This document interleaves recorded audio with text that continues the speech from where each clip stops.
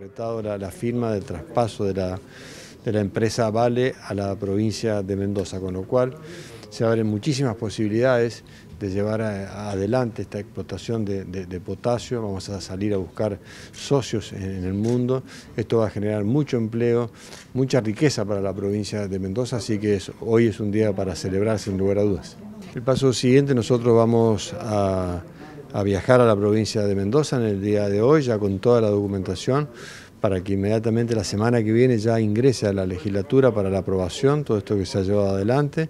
Eh, de manera tal que ya con la aprobación de la legislatura nosotros ya comenzamos a trabajar y podemos tomar posesión ya de todo lo, de todo lo que significa la empresa y todo lo que tiene incorporado la, empresa, todos los bienes, todos los derechos. Hay posibles inversores, hay inversores de, China, de, Suecia, de distintos lugares del mundo que están interesados, así que vamos a ver cuál es la mejor opción y ahí vamos a empezar esta nueva etapa de negociación para que, la, para que empiece a explotarse en definitiva esa riqueza que tenemos en el sur mendocino.